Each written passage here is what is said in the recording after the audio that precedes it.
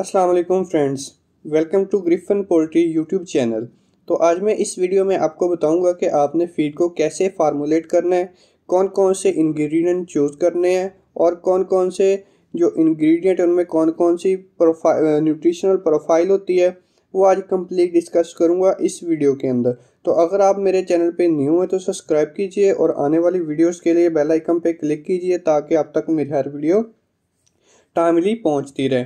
तो चलते अपनी वीडियो की तरफ़। तो सबसे पहले आपने जिन इंग्रेडिएंट्स का इंतखब करना है, उनमें से आपको पता होना चाहिए कि आपके इलाके में अवेलेबल कौन कौन से इंग्रेडिएंट्स हैं। तो फिर उस हिसाब से आपने अपनी फ़ीड को फार्मूलेट करना है। तो जो न्यूट्रिशनिस्ट होते हैं, जो बड़े फ़ीड मिलें होती हैं, उनके पास न्यूट्रिशनिस्ट होते हैं और न्यूट्रिशनिस्ट के पास बड़े बड़े सॉफ्टवेयर होते हैं। उन सॉफ्टवेयर में वो क्या करते हैं कि जस्ट वो वैल्यू पुट करते हैं और वो उनकी, जो इंग्रेडिएंट है, उसके अंदर न्यूट्रिएंट की प्रोफ़ाइल तक बता देते हैं और फ़ीड को फार्मूलेट करते हैं। जैसे कि न्यूट्रिएंट की प्रोफ़ाइल क्या होती है कि उस, जो इंग्रेडिएंट है, उसके अंदर प्रोटीन कितनी है फाइबर कितना है एश कंटेंट कितने हैं मिनरल कितना है और फैट कितना है, ये सारी चीज़ें उनको बता देते हैं। तो उसके बाद जो उसकी कमी पेशी रह जाती है उसको कमी पेशी रहने के बाद वो क्या करते हैं कि एक्सटर्नल बाहर से वो ऐड करते हैं। दूसरे जो इंग्रेडिएंट्स उनको रिक्वायर होते हैं या दूसरे न्यूट्रिएंट्स जो उनको रिक्वायर होते हैं। तो सबसे पहले हमने क्या करना है कि रिक्वायरमेंट पता करने का हमारे बर्ड की क्या है। जैसे कि अगर हम ब्रॉयलर की बात करें प्री स्टार्टर की बात करें तो उसको 20 से 21 परसेंट तक क्रूड प्रोटीन चाहिए होती है, जो उसके मसल डेवलपमेंट में हेल्प करती है और क्योंकि शुरू में उसके जो मसल्स होते हैं, ऑर्गन्स की डेवलपमेंट नहीं हुई होती है तो उसको पूरा करने में उसकी हेल्प करती है। तो उसके बाद उसको उनतीस सौ से तीन हज़ार तक एनर्जी चाहिए होती है। उसको कैसे हमने पूरा करना है, उसको कैसे हम पूरा कर सकते हैं इस वीडियो में। मैं आपको बताऊँगा। तो मैं आपको एक ऐसी रेसिपी बताने जा रहा हूँ जो एक कंप्लीट है एक कंप्लीट फार्मूला है। वो वो मैं आपके साथ डिस्कस करूँगा। तो बगैर स्किप किए वीडियो पूरी देखिएगा। और अगर पसंद आए तो लाइक और शेयर ज़रूर कीजिएगा। तो चलते हम अपने फार्मूले की तरफ़ के कौन सा फार्मूला जो आज मैं आपके तर, साथ शेयर करने जा रहा हूँ। तो वो उस फार्मूले में मैं आपको प्री स्टार्टर फ़ीड का फार्मूला बताऊँगा कि इस फार्मूले के साथ आप अपनी जो न्यूट्रिएंट है या अपने जो बर्ड की रिक्वायरमेंट है, उसको आप पूरा कर सकते हैं। तो उसमें आपने 9 किलो कॉर्न लेनी है, मकई लेनी है। मैं कोशिश करूँगा कि आपको आसान लफ्ज़ों में बता सकूँ, जो जो पढ़े लिखे नहीं हैं, वो उनको भी समझ आ सके। तो सबसे पहले आपने 19 किलो कॉर्न लेनी है, मकई लेनी है, ये इसको हम एज ए एनर्जी सोर्स के तौर पर इस्तेमाल करते हैं कि इससे एनर्जी मिलती है। तो ये सारे जो सोर्सेज हैं, वो वेजिटेबल सोर्स हैं।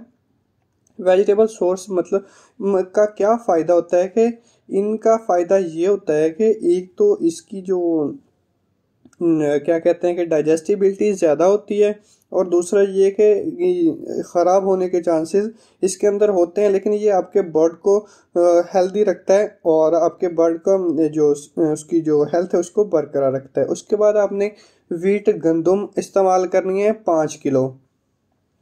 फिर आपने उसमें कॉर्न ग्लूटन थर्टी परसेंट लेनी है मतलब तीस फ़ीसद ये कॉर्न ग्लूटन होता है और इसको आपने दो किलो इस्तेमाल करना है और जो कॉर्न ग्लूटन सिक्सटी परसेंट साठ फ़ीसद होता है उसको आपने एक किलो इस्तेमाल करना है। उसके बाद आपने सोयाबीन मील यूज़ करना है दस किलो।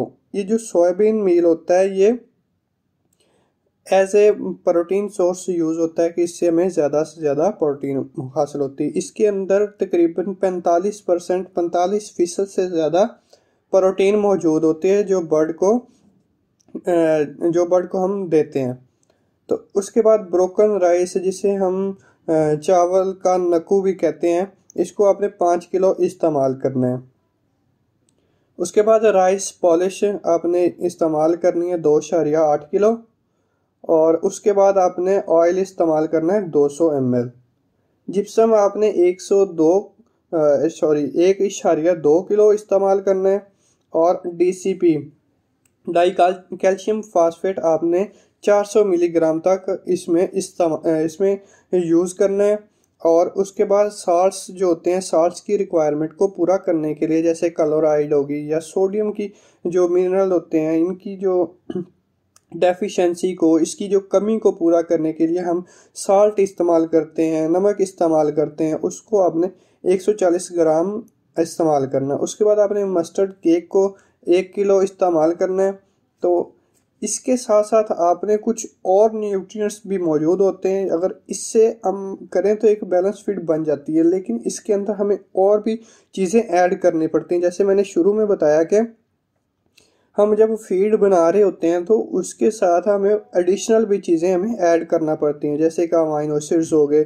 तो अमाइनो एसिड हम इसमें कौन कौन सा इस्तेमाल करेंगे? तो सबसे पहले जो अमाइनो एसिड लाइसिन होता है, इसको हम 100 ग्राम तक इस्तेमाल करेंगे। और फिर मिथियोनिन होता है इसको हम 25 ग्राम तक इस्तेमाल करेंगे अपनी फ़ीड के अंदर। और फिर थ्रियोनिन, जो हम 25 ग्राम इस्तेमाल करेंगे, ये अमाइनो एसिड की प्रोफ़ाइल अगर आपके जो बर्ड को अमाइनो एसिड प्रॉपर मिल रहे हैं तो वो आप, वो ज़्यादा वेट गेन करेगा और प्रॉपर हर चीज़ उसको बैलेंस मिलेगी तो वो ज़्यादा से ज़्यादा वेट गेन करेगा और आपको ज़्यादा से ज़्यादा उससे प्रॉफिट हासिल होगा। तो उसके बाद अगर हम बात करें असेंशियल न्यूट्रिएंट की तो असेंशियल न्यूट्रिएंट में हमें कोलिन चाहिए होता है। कोलिन जो होता है, उसकी ब्रेन डेवलपमेंट में ज़्यादा हेल्प करता है नर्वस सिस्टम को। डेवलप करने में हेल्प करता है और ये हमें 25 ग्राम तक चाहिए होता है। 25 ग्राम आपने इसमें कोलिन ऐड करनी। तो ये सारी चीज़ें अमाइनो एसिड या असेंशियल न्यूट्रिएंट है। ये आपको सिंथेटिक मिल जाते हैं, बाज़ार से मिल जाते हैं आपने। इसे बाज़ार से लेना है, ख़रीदना है और इतनी रिक्वायरमेंट जितनी मैं बता रहा हूँ, इसके हिसाब से आपने अपने चूज़ों को देना और फ़ीड में इस्तेमाल करना है। उसके बाद आपने मेडोरामाइसिन इस्तेमाल करना है पचास ग्राम। ये कॉक्सीडियो स्टैट होता है जो कॉक्सी आती है, उसको रोकता है, उसमें हेल्प करता है, उसको उसको रिक्वायरमेंट को देखता हुए कॉक्सीडियो स्टेट जो कॉक्सीडियो स्टैट होते हैं, उनको ये रोकता है। और एंजाइम्स हमें चाहिए होता है फाइटेट एंजाइम चाहिए होता है, इसको आपने पाँच ग्राम जो अपनी फ़ीड के अंदर ऐड करना है। जब आप इसको फ़ीड के अंदर ऐड करेंगे तो आपकी जो रिक्वायरमेंट है वो पूरी हो जाएगी। और प्री मिक्सिस में आपने टर्बो गोल्ड इस्तेमाल करना है। तो इन सारी चीज़ों को देखते हुए आपकी जो एक फ़ीड है वो बैलेंस हो जाएगी। तो इन सबसे आपने अपनी फ़ीड को बैलेंस कर लेना है। तो इसके बाद आपने क्या करना है कि जो न्यूट्रिएंट हैं वो देखने हैं कि आपके पास कौन कौन से हैं और जो इंग्रेडिएंट है इंग्रेडिएंट की आपने सिलेक्शन करते हुए आपने उसको दो तरीक़ों से चेक करना है अपने न्यूट्रिएंट्स जो फ़ीड को, जो इंग्रेडिएंट है, जैसे कॉर्न या वीट है, या जितनी चीज़ें मैंने बताई हैं आपको, उसको आपने चेक करना है दो तरीक़ों से। एक फ़िज़िकल तरीका होता है कि हम देख के बता देते हैं कि इसको फंगस लगी है कि नहीं है, या इसके अंदर कोई अफ्लाटॉक्सिन तो नहीं प्रोड्यूस हो गया है। तो इन चीज़ों से हमने उसे बचाना है। तो दूसरा, उसका केमिकल टेस्ट करवाना है कि आया कि जितनी हम उसको एनर्जी की बात कर रहे हैं, उतनी एनर्जी उसके अंदर मौजूद भी है कि नहीं है।